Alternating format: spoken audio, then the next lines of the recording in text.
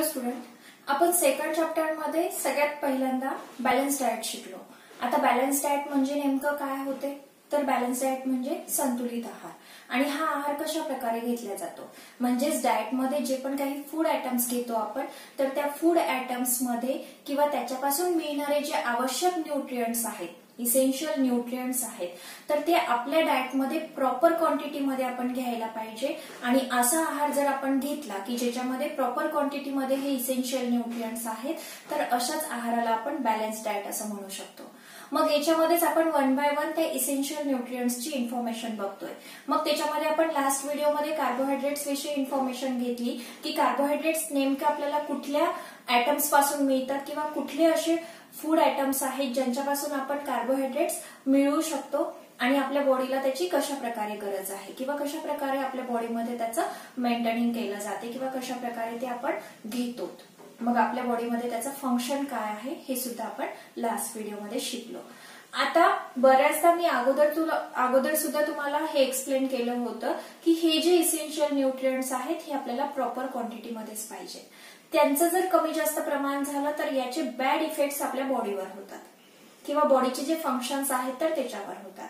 म्हणूनच मग आज आपल्याला कार्बोहायड्रेट्सचं जर कमी जास्त प्रमाण झालं तर काय इफेक्ट होतात किंवा काय साईड इफेक्ट्स आपल्या बॉडीवर होतील हे आपल्याला शिकायचंय.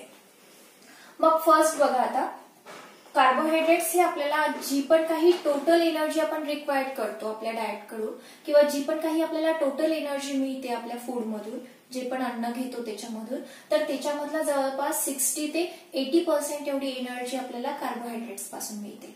म्हणजे साठ ते ऐंशी टक्के एवढी एनर्जी आपल्याला कार्बोहायड्रेट्सपासून मिळू शकते.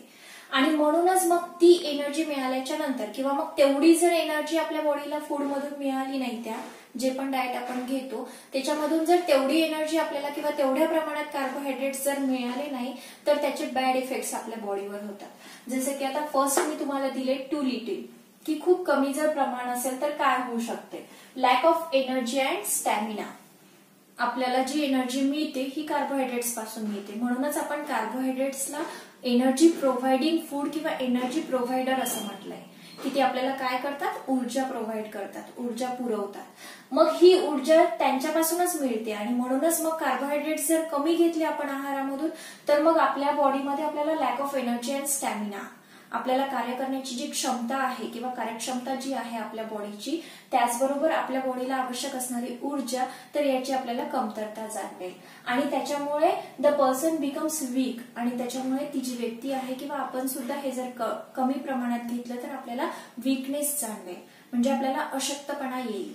आणि can not bear physical or a mental straight stress मग त्याच्यामुळे आपण काय करू शकत नाही? Physical and mental stress bear करू शकत नाही. म्हणजेच cannot bear to physical or a mental stress जे पण काही शारीरिक किंवा मानसिक ताण असतात दैनंदिन क्रिया करताना किंवा ज्या पण काही ऍक्टिव्हिटीज आपण करतो तर त्याच्यामध्ये बऱ्याचदा आपल्याला फिजिकल स्ट्रेस किंवा मेंटल स्ट्रेसला सामोरं जावं लागतं. आणि मग असे जे फिजिकल किंवा मेंटल स्ट्रेस आहेत जर आपण कार्बोहायड्रेट्सचं प्रमाण कमी घेतलं आपल्या आहारामधून तर असे स्ट्रेस आपण बिअर करू शकणार नाही किंवा सहन करू शकणार नाही. बिअर मीन्स काय होते? सहन. मग असे जे असे जे स्ट्रेस आहेत मेंटल और फिजिकल ते आपण सहन करू शकणार नाही. जसे की फॉर एक्झाम्पल जेव्हा तुम्ही अभ्यास करता तर अभ्यास करताना एखाद्या वेळेस तुम्हाला भूक लागली तर तुमचं मन लागत नाही अभ्यासामध्ये. तुमची इच्छा होत नाही अभ्यास करण्याची किंवा एखाद्या वेळेस तुम्ही पाठांतर करत असाल तर ते पाठांतर तुमचं होत नाही. कशामुळे? कारण तुम्हाला भूक लागलेली असते. कारण तुमच्या तुम्ही जे फूड घेतलेलं होतं त्याच्यामधून जी पण काही एनर्जी तुम्हाला मिळालेली होती बॉडीला ती पूर्ण संपली. आणि म्हणून मग तुमच्या बॉडीला एनर्जीची गरज आहे. मग ही एनर्जी आपल्याला कशामधून मिळेल? फूडमधून मग फूडमधून एनर्जी मिळेल तर ती एनर्जी मिळाली नाही म्हणून मग तुमचा जो मानसिक स्थिती आहे किंवा तुमची जो मेंटल मेंटॅलिटी आहे तर ती काय झाली? वीक झाली. म्हणजेच तुम्हाला मेंटल स्ट्रेस जाणवेल आणि त्याच्यामुळे मग तुम्ही अभ्यासात सुद्धा मन लागणार नाही किंवा कुठल्याच गोष्टीमध्ये तुमचं लक्ष लागणार नाही.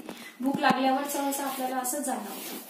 मग अशा प्रकारे हे झालं जर आपण खूप कमी प्रमाण घेतलं कार्बोहायड्रेट्सचं तर.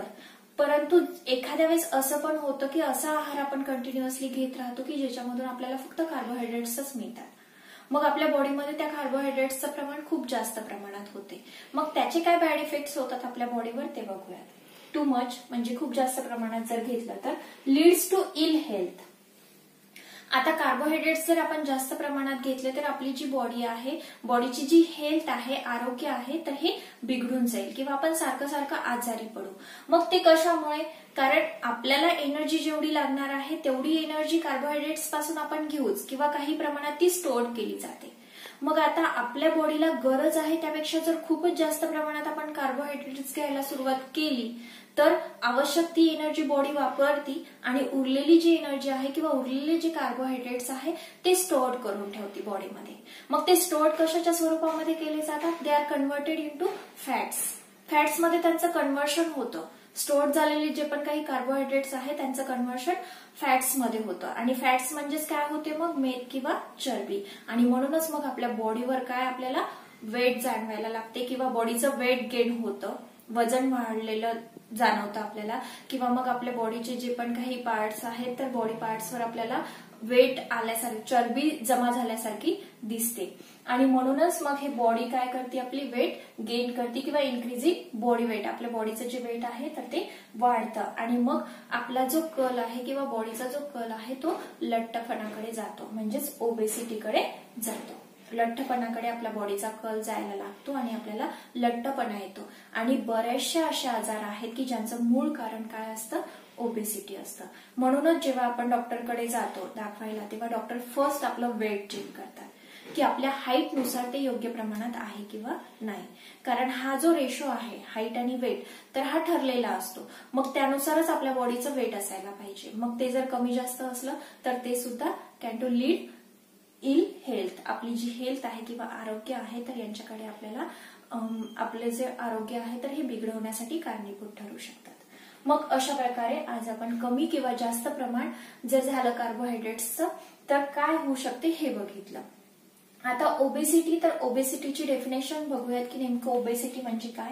तर ओबेसिटी मीन्स होते लठ्ठपणा. आणि डेफिनेशनच्या माध्यमातून जर बघायचं म्हटलं तर and overweight condition of body leading to ill health is called obesity आपल्या बॉडीची ओव्हरवेट कंडिशन म्हणजे आवश्यक आहे आपल्या बॉडीला त्यापेक्षा जर आपण जास्त वेट गेन केलं किंवा आपल्या बॉडीचं वेट जास्त वाढलं तर अशी जी परिस्थिती असते ती आपल्याला आपले जे आरोग्य आहे तर ते बिघडवण्यासाठी कारणीभूत ठरू शकते. आणि मग अशी जी स्थिती आहे तर अशा स्थितीला आपण काय म्हणणार? ओबेसिटी आहे त्यापेक्षा किंवा आपल्या बॉडीला गरज आहे आपल्या बॉडीचा जो रेशो ठरलेला आहे हाईटनुसार त्यापेक्षा जर जास्त वेट असेल तर त्या वेटला आपण काय म्हणणार मग? ओबेसिटी आणि हेच आपल्याला मग आपला हा आरोग्य बिघडवण्यासाठी कारणीभूत ठरू शकते. मग अशा प्रकारे आज आपण कमी किंवा जास्त प्रमाणात जर कार्बोहायड्रेट्स घेतले तर त्याचे काय इफेक्ट्स होतील हे शिकलो. आता याच्यानंतरचा जो पार्ट आहे तो आपण नेक्स्ट व्हिडिओमध्ये